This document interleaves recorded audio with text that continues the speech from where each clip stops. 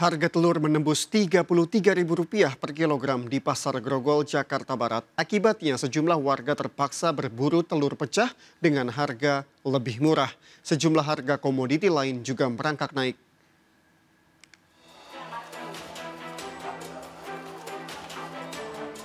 Meroketnya harga telur membuat sejumlah ibu rumah tangga terpaksa berburu telur pecah.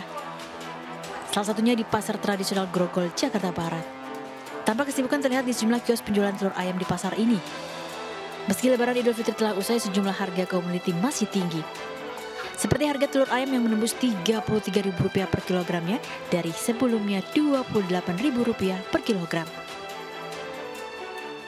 Akibatnya sejumlah warga terpaksa membeli telur pecah dengan harga lebih murah Rp2.000 menjadi Rp31.000 per kilogram.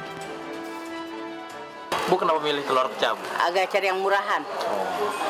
Kalau ini emang kalau harga yang sebenarnya berapa Bu yang telur biasa Bu yang tiga tiga.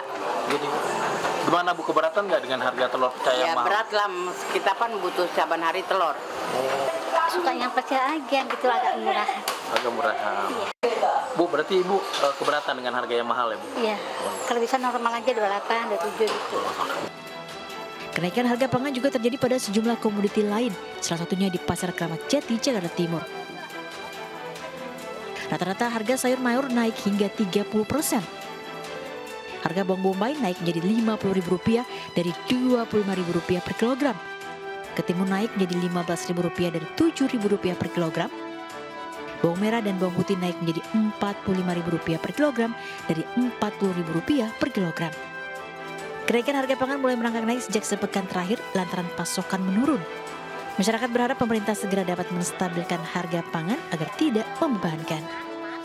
Tim Liputan iNews melaporkan.